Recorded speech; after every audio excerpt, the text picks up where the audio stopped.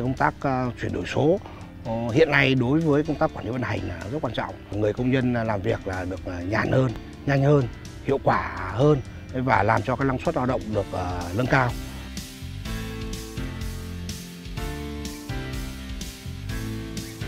thông qua cái hệ thống camera giám sát cái đường dây lãnh đạo quản lý công nhân quản lý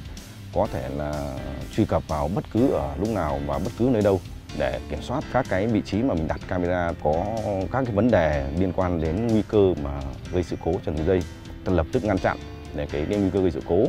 Thông qua cái ờ, hệ thống camera giám sát này thì ờ, chúng tôi cũng ghi lại cái hình ảnh mà ở tại các cái khoảng cột có các cái đơn vị ờ, thi công hoặc là có hiện tượng vi phạm hành lang ví dụ như là tập kết vật liệu hoặc là thả các vật bay ở gần đường dây. Để chúng tôi có biện pháp là xử lý tuyên truyền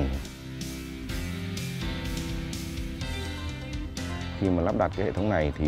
nó sẽ giảm được cái phần nhân lực có thể là ờ, quán xuyến trực tiếp thì là là sẽ không phải thực hiện nữa và chỉ cần giám sát từ xa nếu có hiện tượng thì mình mới cần phải là đến trực tiếp hiện trường Chúng tôi có thể sử dụng trên máy tính bảng, laptop, điện thoại, Windows đều được. Trên menu ứng dụng ấy, thì nó bao gồm các tính năng ví dụ như xem trực tiếp, xem lại, điều khiển, quản trị và có thể xem lại lịch sử của ờ, camera đã ghi được cả ngày lẫn đêm. Camera của chúng tôi thì có khả năng dung quang học ấy, tới tận 25x thì xa tới ví dụ từ mỗi khoảng cột cách nhau khoảng 300 m có thể nói vui là rõ từng ngọn cỏ luôn.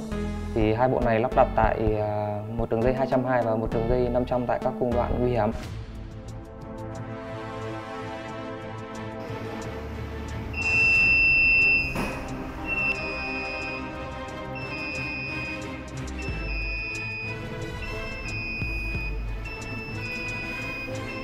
Vực 202 có kẻ gian đột nhập, hai đồng chí ra kết hợp với bảo vệ để ngăn chặn kịp thời.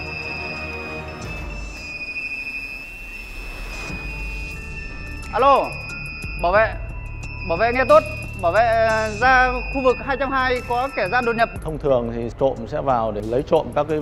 vật tư thiết bị ở trong trạm cũng như ờ, đang vận hành ờ, gây ảnh hưởng đến cái, cái lưới điện hệ thống điện truyền tải đang vận hành. Trong năm 2022 thì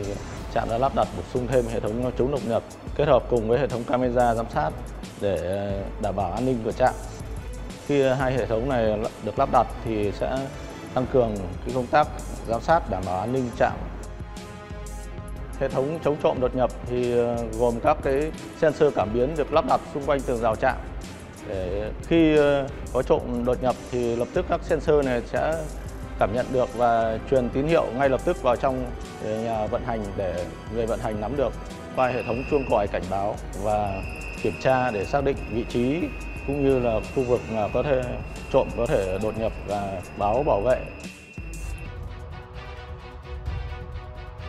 Ngày hôm nay trong cái quá trình đi kiểm tra đường dây thì ờ, nhóm công tác đã phát hiện ra một cái diều